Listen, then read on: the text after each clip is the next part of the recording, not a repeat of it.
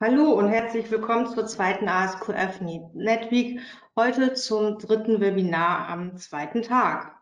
Ähm, wir freuen uns, dass Sie so zahlreich teilnehmen und Sie können sich auch jetzt immer noch kurzfristig für weitere Webinare in dieser Woche anmelden.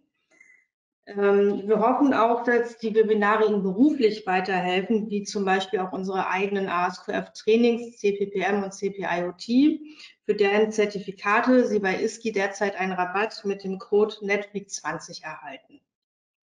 Nun begrüße ich zum jetzigen Webinar den Herrn Daniel Kant von der TH Brandenburg mit dem äh, Webinartitel Künstliche Intelligenz, Potenziale und Risiken für die IT-Sicherheit erkannt. Und the stage is yours. Sie können dann jetzt loslegen. Ja, vielen Dank. Ähm, herzlich willkommen auch nochmal von meiner Seite zur ASKF äh, NetWeek. Und ähm, ich bin vom Kompetenzzentrum IT-Wirtschaft und bin dort für die IT-Sicherheit und den Datenschutz zuständig. Ähm, ja, und wir wollen uns heute mal die Schnittstelle angucken zwischen künstlicher Intelligenz und äh, der IT-Sicherheit, was da insbesondere ähm, die Potenziale sind, aber auch wo die Risiken natürlich liegen. Und zum Anfang äh, möchte ich ganz kurz unser Kompetenzzentrum vorstellen. Deswegen haben wir als Opener einen kleinen Filmer für Sie.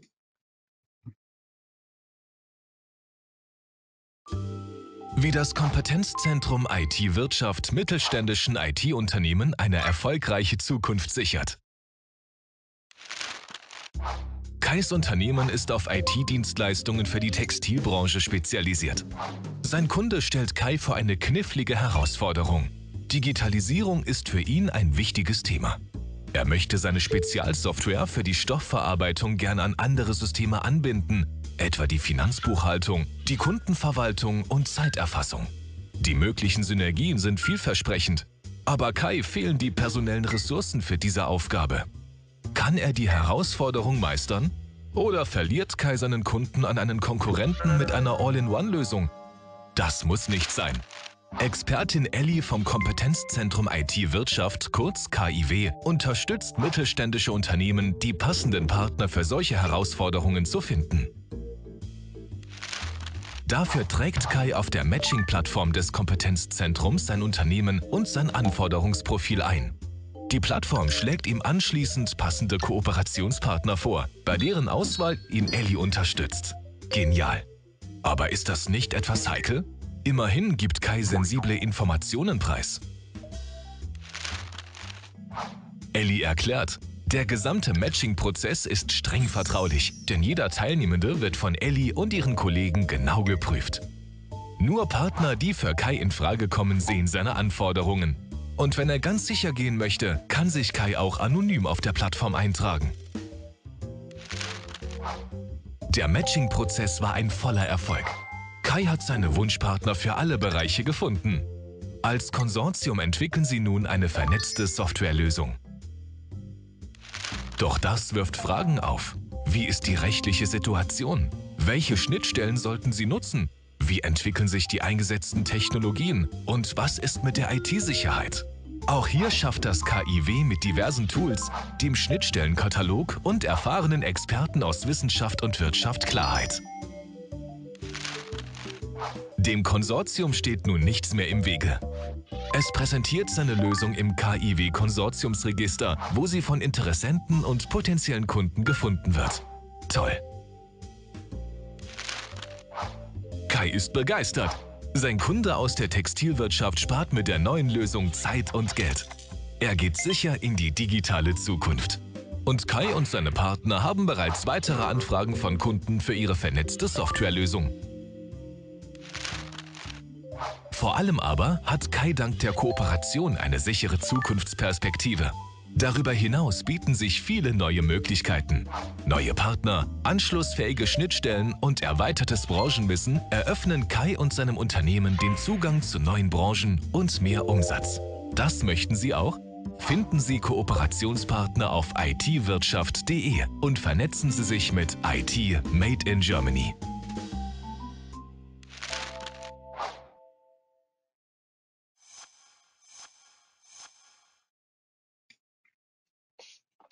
Okay, ähm, ich hoffe, Sie sind noch da. Das war nur ein kleiner Opener, damit Sie mal eine Vorstellung haben, was wir im Kompetenzzentrum so machen.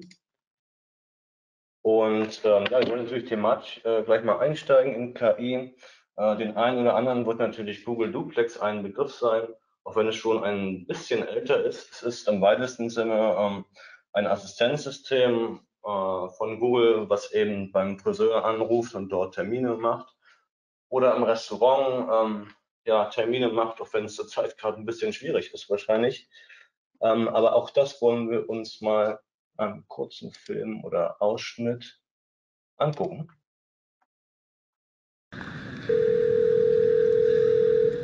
So how can I help you? Hi, I'm calling to book a women's haircut for a client. Um, I'm looking for something on May 3rd. Sure, give me one second. Mm-hmm. Sure, what time are you looking for around? At 12 p.m. We do not have a 12 p.m. available. The closest we have to that is a 1.15. Do you have anything between 10 a.m. and uh, 12 p.m.?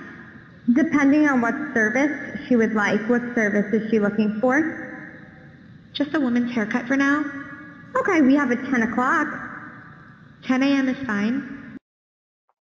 Okay, ähm, natürlich handelt es sich dabei um ein Marketing-Video, aber es war eigentlich schon sehr interessant zu sehen, wie die KI dort so eine Pause macht und als ob sie nachdenken würde und ja, damit irgendwie auch menschliches ähm, Verhalten imitiert. Das ist schon gar nicht so schlecht gemacht. Und ähm, oh, das ist der richtige Monitor. ähm, allgemein gibt es halt eine Menge Internet of Things Devices wie die Moodbox zum Beispiel, wo auch KI schon implementiert ist. Ähm, die Moodbox ähm, erkennt wohl äh, die Gefühle seines Anwenders und die Stimmung eben und spielt dann, also es ist eine Box, wohl eine Mus Musikbox und spielt dann eben entsprechend der Stimmung seines Anwenders die passende Musik und verändert eben auch das Licht, also das ist irgendwie in Verbindung mit so einem Ambient Light, was sich dann auch entsprechend der Stimmung verändert. Natürlich auch sehr spooky irgendwie, aus einer, ja, aus einer Datenschutzperspektive natürlich. Ähm, und ja, tatsächlich ist es natürlich auch so, dass KI sich täuschen kann. Ist ja nicht unfehlbar irgendwo. Äh, besonders beim autonomen Fahren kommt ja äh, KI zum Einsatz. Und hier haben wir mal so ein ja, Experiment, ähm, wo eben auf diesen Tempobegrenzungsschildern eben Aufkleber draufgeklebt wurden. Und so wurde eben die KI getäuscht, dass eben das Verkehrsschild nicht mehr als Tempobegrenzungsschild eben gesehen wurde, sondern als Stoppschild. Und das kann natürlich gerade auf der, der äh, Autobahn verheerend sein, wenn man überlegt, so ein Auto mit 200 km/h bremst dann einfach mal ab auf Null. Das kann natürlich verheerende Konsequenzen haben. Ähm, auch in der Bildverarbeitung, bei ähm, der Bildgenerierung ist KI ziemlich weit. Wenn wir uns mal, äh, wenn Sie mal schauen wollen, also eines dieser beiden Bilder ist eine real existierende Person. Das andere Bild ähm, ist eben von einer KI generiert worden. Da können Sie ja selber mal überlegen, welche Person real existiert von den beiden. Hm, können Sie gerne in Chat reinschreiben oder für sich mal überlegen. Ähm, da wir natürlich nicht so viel Zeit haben, würde ich das Ganze auch gleich mal auflösen. Also die erste Person existiert real. Ja, das heißt, man muss auch schon sehr genau hingucken hier bei diesen Bildern. Auch hier ist also die KI schon ziemlich weit. Ähm, wem das Ganze interessiert, hier noch äh, dem sagen wir mal herzlich die Webseite whichfaceisreal.com ans Herz gelegt. Ja, und warum ist KI eigentlich überhaupt so interessant? Warum ist das eben der große ähm, Megatrend. Und da kann man sagen, es liegt halt daran, dass man mit KI eine enorm große Menge Daten eben auswerten kann, also effizient auswerten kann. Äh, das könnte natürlich manuell kein Mensch ähm, eben so tun. Und natürlich zwischen diesen Daten können halt auch Korrelationen gefunden werden oder Muster eben. Und ähm, dann kann auch erkannt werden anhand von Daten, ähm, wo es halt Abweichler gibt. Das ist also interessant bei der Anomalieerkennung dann irgendwo. Ähm, natürlich auch, wie werden sich Daten entwickeln, wenn wir jetzt an Data Mining ähm, denken, wo entwickeln sich Daten hin oder gewisse Attribute. Das kann uns zum Beispiel auch hilfreich sein. Ähm, und ganz wichtig natürlich auch das Clustering und Einordnen in Kategorien. Das heißt, aus Sicht der IT-Sicherheit ist halt interessant, handelt es sich bei Daten eben um äh, Malware oder zum Beispiel um Spam-E-Mails. Ja, und wenn wir uns mal den Mittelstand anschauen, wie sieht es da so aus mit KI und IT-Sicherheit? Da muss man sagen, ist der äh, Mittelstand noch sehr skeptisch, was den Einsatz von KI äh, in der Domäne IT-Sicherheit betrifft. Ähm, das ist hier der unterste, der vorderletzte Balken von unten, der vorletzte. Ähm, also gerade mal 37 Prozent sehen halt in der äh, KI halt große oder sehr große Chancen für die IT-Sicherheit. Das ist natürlich sehr wenig. Wenn Sie das mal vergleichen wollen mit dem obersten Balken, das ist sozusagen die Logistikbranche, da sagen irgendwie, ich weiß nicht, über 80 Prozent, dass sie da sehr große und große äh, Chancen sehen. Und das ist schon eine erhebliche Diskrepanz auf jeden Fall. Und da kann man sich natürlich die Frage stellen, warum ist das so? Warum gibt es da so viele Vorbehalte irgendwo? Naja, natürlich muss man sehen, wenn man KI selber ähm, implementieren möchte im, im eigenen Unternehmen, dass es selber ja, Trainingsmengen eben trainieren möchte und so weiter, muss man auch erstmal die Infrastruktur bereit haben. Das heißt, ich brauche performante Server, ich brauche eine extreme Datenmengen, ich brauche einen hohen, hohen Datendurchsatz, viel Speicherplatz, äh, performant und natürlich auch die Expertise. Ich brauche sowohl jemanden, der sich mit künstlicher Intelligenz auskennt, als auch äh, in der Domäne IT-Sicherheit Bescheid weiß eben. Okay, zweite, also das wird natürlich gerade für kleine Mittelständler schwierig sein, das Ganze bereitzustellen. Deswegen ist sicherlich für viele die zweite Variante interessanter, nämlich den, die sogenannte passive Nutzung. Das heißt, dass man den KI-Dienst eben bezieht oder kauft von einem Drittanbieter eben, also meistens in der Cloud, ähm, KI as a Service eben. Und dadurch spart man eben diese Ressourcen an ähm, Personal, und auch Know-how, das man irgendwie einkaufen müsste und muss eben auch nicht diese enorme Infrastruktur eben bereitstellen. Irgendwo, ja. Und hier haben wir mal ähm, geschaut, wo könnte man denn überhaupt KI sinnvoll nutzen in der IT-Sicherheit und wo wird es auch schon genutzt. Das ist sicherlich eine sehr interessante Folie. Ähm, ja, wir haben Malware-Erkennung und Spam schon äh, angesprochen und die Anomalieerkennung aber natürlich auch der ganze Bereich der Netzwerkanalyse und Intrusion Detection äh, Systeme, aber auch die Erkennung und Abwehr von Cyberangriffen. Und wenn Sie mal schauen, viele Punkte, die sich links wiederfinden, finden Sie auch auf der rechten Seite. Ähm, ja, Sie sehen, man kann also auch ähm, KI eben nutzen, um Cyberangriffe effizienter zu gestalten. Also könnte man auch sagen, ein bisschen dass sich da irgendwo die Katze in den Schwanz äh, beißt. Und genauso ist es eben noch bei der Sicherstellung von, von Identitäten eben, wenn wir jetzt an Biometrieverfahren denken, äh, die Erkennung von Gesichtsmuster. Natürlich kann ich das äh, KI-gestützt verbessern eben, aber ich kann ähm, ja, so ein Biometriesystem natürlich auch einer KI vorhalten und sie damit irgendwie austricksen. Okay, also wir können das sowohl zum Guten als auch zum Schlechten ähm, nutzen, wenn ich das mal so platt sagen darf. Und tatsächlich ist es so, dass KI eben schon von namhaften Herstellern ähm, verwendet wird. Ein paar sind hier aufgelistet. Es ist natürlich so, dass KI ähm, schon irgendwo einen Wettbewerbsvorteil darstellt im Vergleich zu klassischen statischen Systemen und deswegen viele natürlich das auch ähm, ungern teilen, dieses Wissen, weil es ja letztendlich auch ähm, bares Geld irgendwo bedeutet. Deswegen halten sich da auch viele auch äh, bedeckt, ähm, was das angeht. Hier ist nochmal eine Auflistung, um, in welche Software oder in Applikationen KI also schon zum Einsatz kommt in Bezug äh, mit IT-Sicherheit. Ähm, können wir natürlich nicht alles durchgehen, aber ich wollte Ihnen nur mal zeigen, dass es nicht nur ähm, graue Theorie ist, über was wir hier reden, kommt tatsächlich schon zum Einsatz.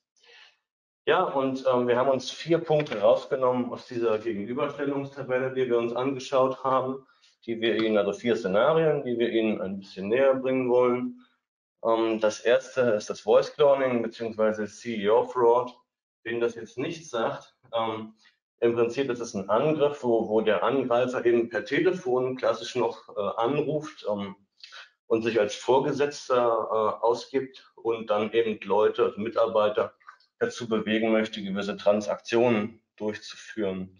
Und klassischerweise, also sich also monetär zu bereichern, wenn man so will. Ähm, Und klassischerweise war es eben so, dass diese Angreifer natürlich die Stimme verstellen mussten. Also sie mussten sich wirklich noch ähm, selbst Mühe geben, eben den Abteilungsleiter oder den Chef irgendwo da nachzumachen. Und heute ist es eben so, dass wir ganz andere Möglichkeiten durch KI haben, auch die Stimme zu analysieren ja, und auch nachzumachen. Und im Prinzip der KI jeglichen Satz in den, in den Mund zu legen, wenn man so will. Und ähm, ein interessantes Framework ist hier Lyrebird, den einen oder anderen wird sicher was sagen. Ähm, wir wollen uns das aber mal anschauen. Ich habe zumindest mal ausgeschnitten, so ein kleines, einen kleinen Clip, ähm, wie das mit also Lyrebird ziemlich gut funktioniert.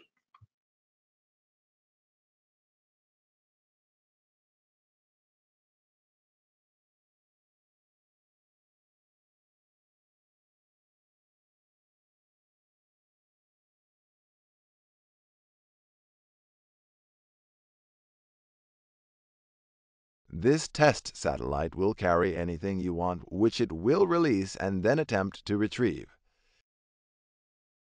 Okay, ähm, ich hoffe, Sie konnten was hören. Nicht, dass Sie sich wundern, dass ich ab und zu gemutet bin. Immer dann, wenn ich so einen Clip abspiele, kann man mich eben nicht hören. Also da wird man wohl automatisch gemutet. Okay.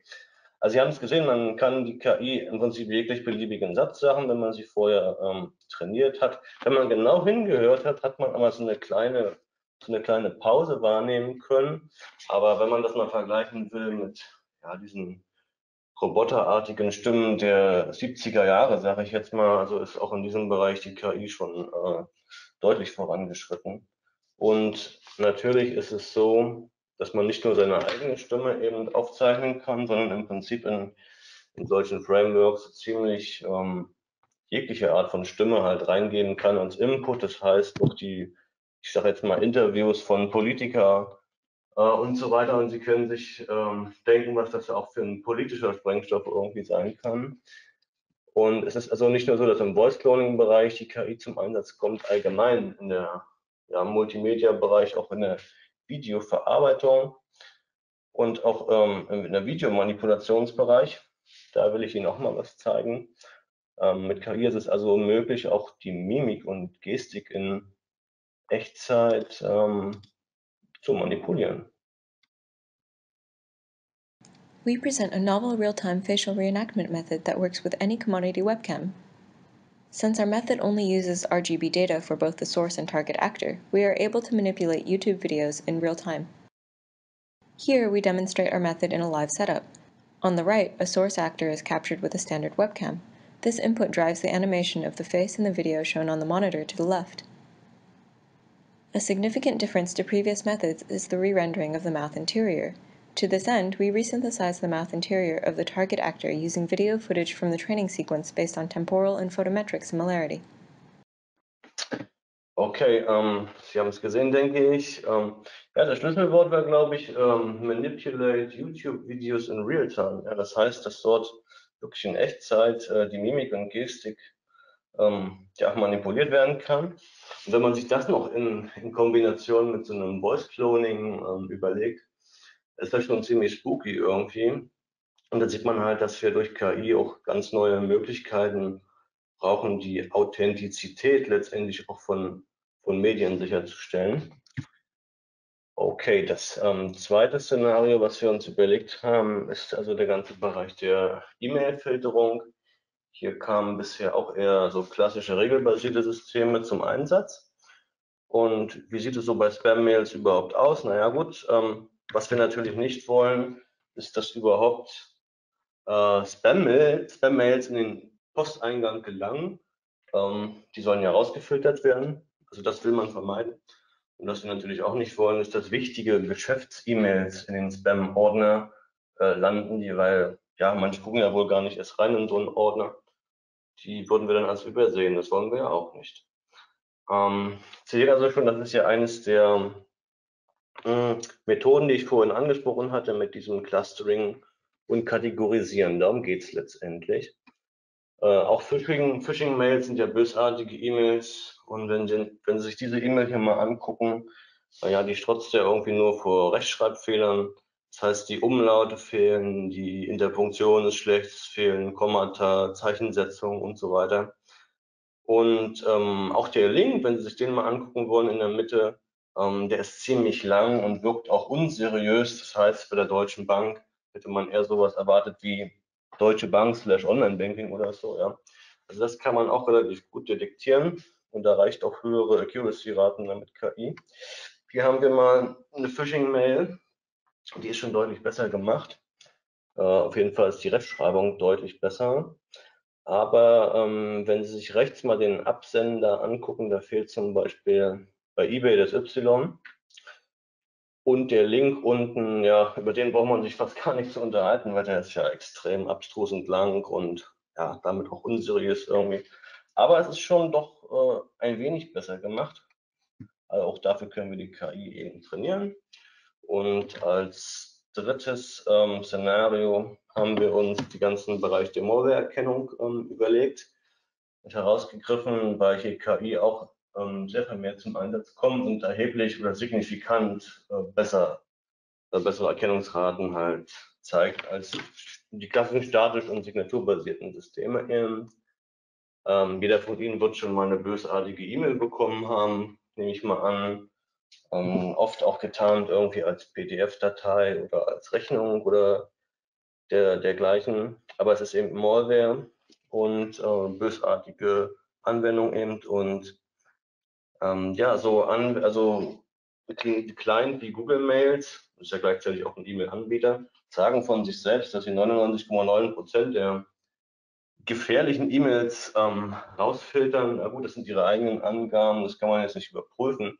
Äh, was sich sicherlich sagen lässt, dass sich eben durch den Einsatz von KI, und das tun sie ja unter anderem mittels Machine Learning auch, ähm, ja, diese Accuracy-Raten deutlich erhöhen lassen eben was das Rausfischen auch von bösartigen E-Mails eben angeht. Ja, und bei Malware allgemein ist es ja so, dass am Tag so ungefähr 350.000 äh, neue Varianten, Malware-Varianten auftauchen.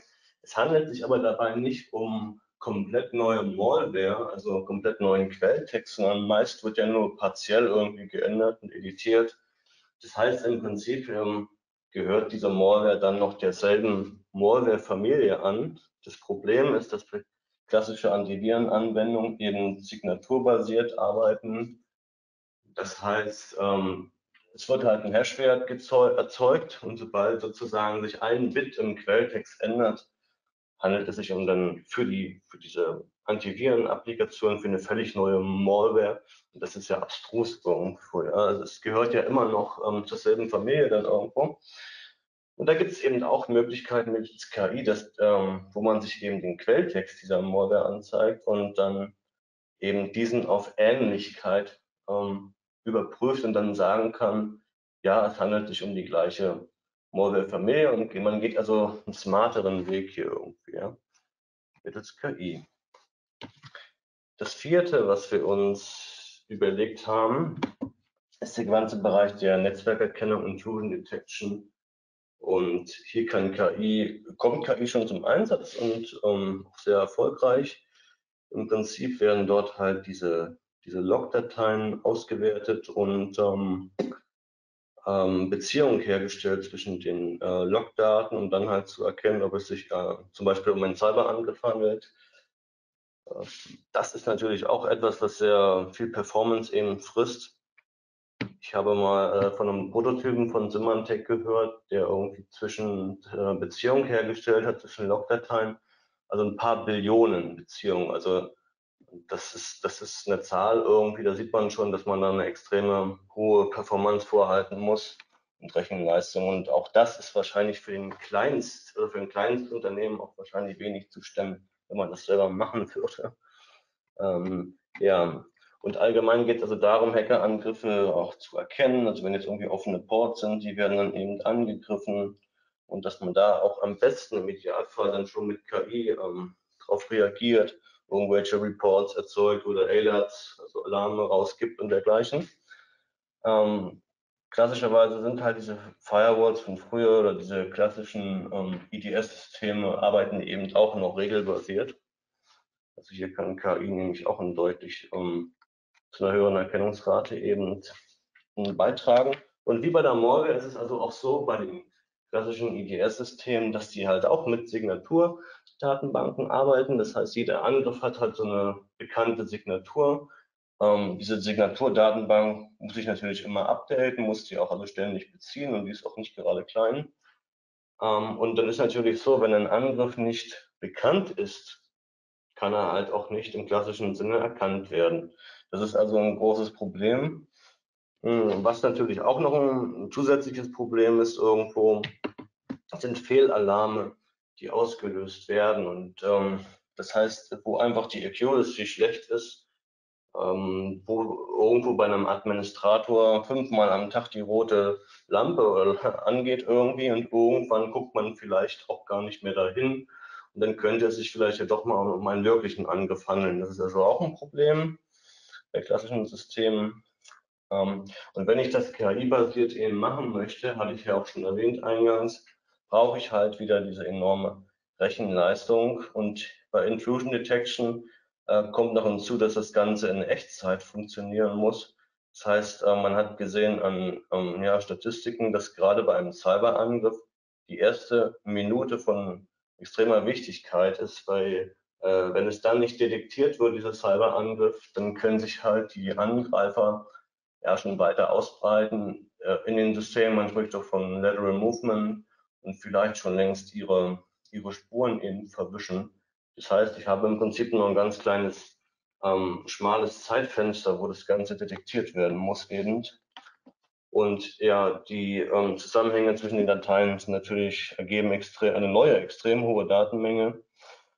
Und das Ganze muss dann eben noch performant äh, gestemmt werden. Ähm, es ist also üblicherweise so, was die Reaktion auch angeht auf diese Cyberangriffe, dass die eben auch noch regelbasiert formuliert werden und die äh, ja, Handlungsanweisungen und Reaktionen sogar manuell noch durchgeführt werden von irgendwelchen Administratoren.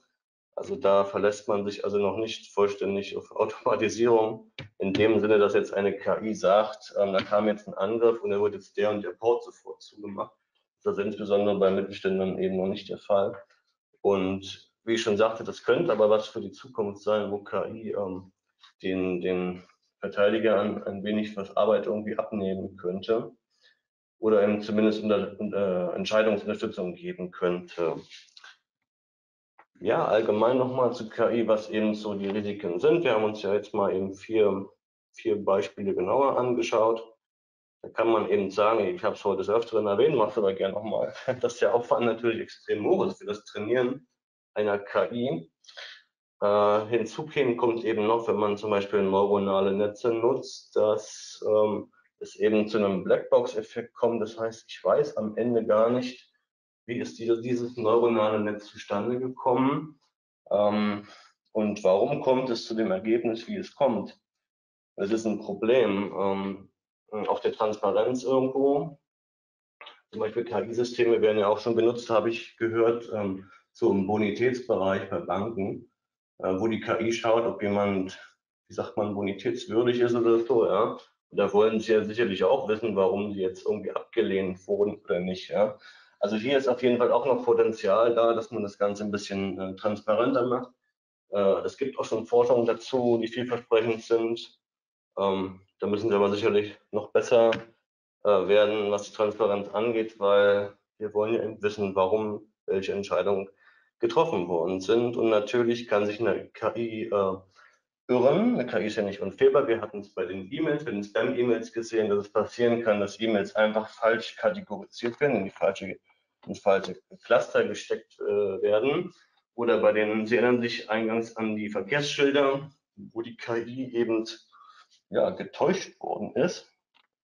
Ein weiteres Problem, was wir bei Cyberangriffen natürlich irgendwo haben, ähm, ist, dass ähm, um eine Trainingsmenge zu haben, äh, muss der Angriff ja irgendwie bekannt sein erstmal.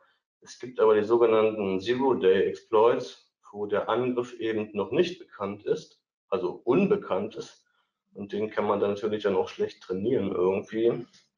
Und es gibt Angriffe, die sogenannten Advanced Persistent Threats. Das sind also Angriffe von ja meistens Geheimdiensten oder ziemlich ähm, ja, Hackergruppen, die ziemlich mächtig und viele Ressourcen haben. Ähm, diese Angriffe, die diese Organisationen erfahren, sind so maßgeschneidert, könnte man sagen, und ähm, breiten sich auch meist über Monate in irgendeinem System aus und ähm, also dafür irgendwelche Trainingsdaten zu generieren, das ist sehr schwierig, auch wenn es auch da schon erste Forschungspaper gibt, was ich gesehen habe. Ja, also das sind die Probleme, die man da in diesem Bereich hat. Und natürlich ähm, ist bei den Trainingsdaten auch immer die Frage, wenn man sie dann extern ähm, bezieht, woher kommen die Daten? Ja? Wo befind, ist der, der Anbieter vertrauenswürdig? Ist er zertifiziert? Sind die Daten, ähm, ja, kommen die aus, e, aus, der EU oder sind die Server irgendwie sonst wo im EU-Ausland, sage ich jetzt mal? Ähm, und natürlich ähm, nochmal das Thema Transparenz. Wurden die Daten vielleicht bösartig trainiert? Also ist die Trainingsmenge ähm, eben so geraten, dass, dass man die KI bewusst in irgendeine falsche oder bösartige Richtung eben lenken möchte? Das muss man dabei auch immer berücksichtigen. Und natürlich KI-Systeme, mit denen kommuniziere ich ja. Das sind ja im Prinzip auch IT-Systeme, eigenständige, die wieder eigene offene Ports haben. Natürlich, man muss ja mit ihnen kommunizieren irgendwie. Das heißt, die Systeme selbst stellen ja auch wieder einen Angriffsvektor dar. Äh, das muss man eben auch bedenken, dass man die ja auch angreifen kann wieder und dann können notfalls auch Trainingsdaten abgezogen werden und unter Umständen sogar, wenn wir jetzt mal den nächsten Punkt nehmen, auch personenbezogene Daten, wenn sie denn enthalten sind in so einer Trainingsmenge, das will man natürlich nicht hoffen.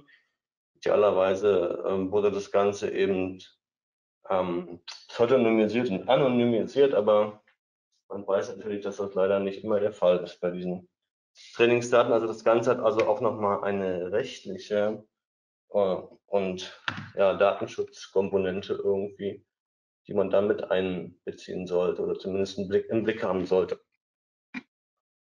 Okay, nun glaube ich, war ich sogar relativ schnell dabei heute.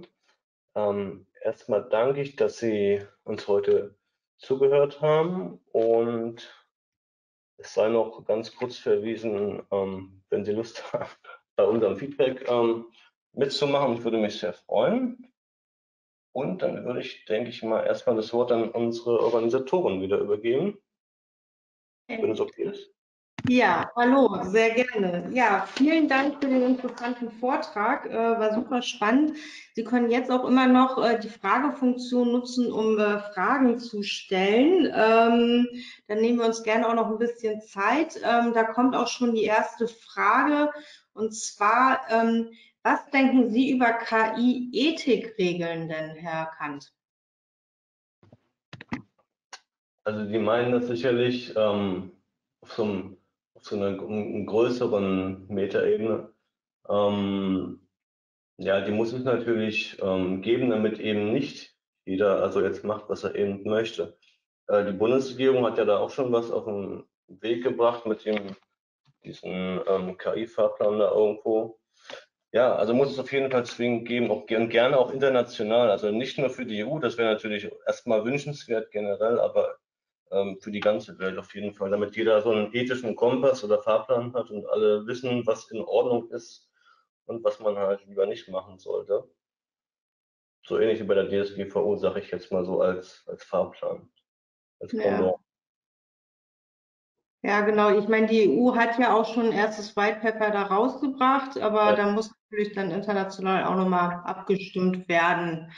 Ne, ähm, okay, dann nächste Frage. Ähm, um die Qualität von KI einzuschätzen, reicht da der ISO 25000FF?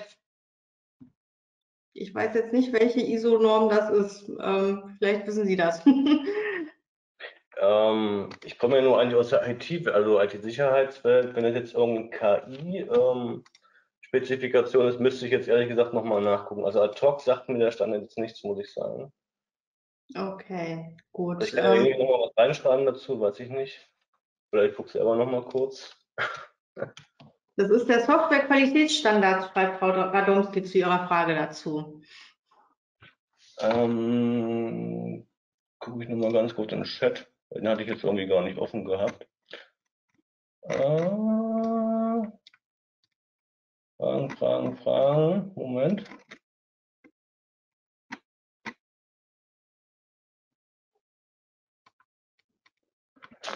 Ähm, okay, ich muss gestehen, ich kannte diesen Standard gar nicht.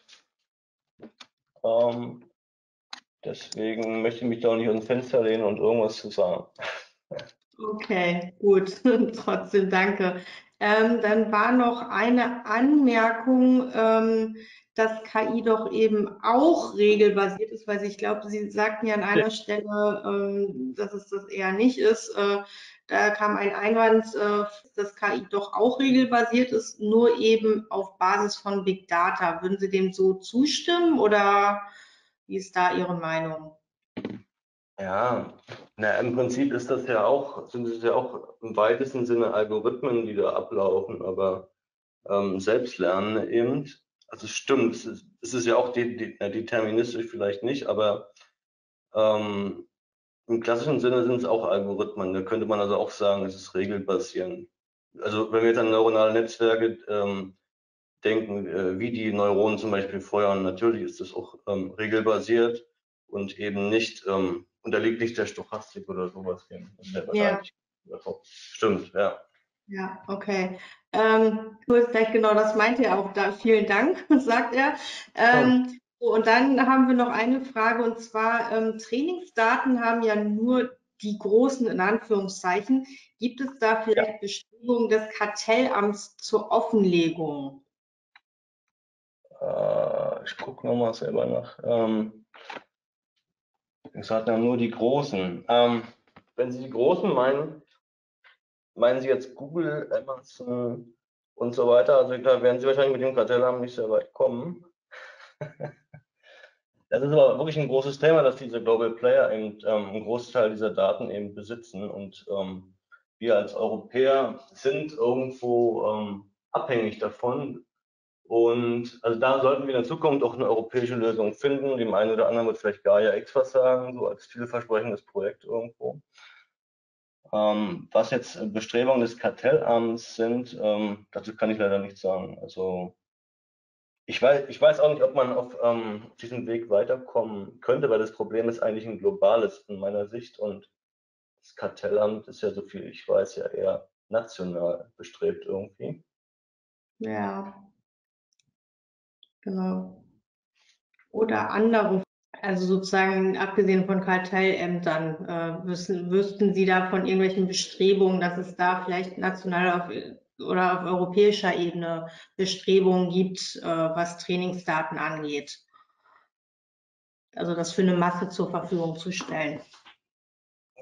Uh, Wüsste ich jetzt nicht. Also, so viel ich weiß, sind die meisten eben privatwirtschaftlich oder werden noch gehalten eben.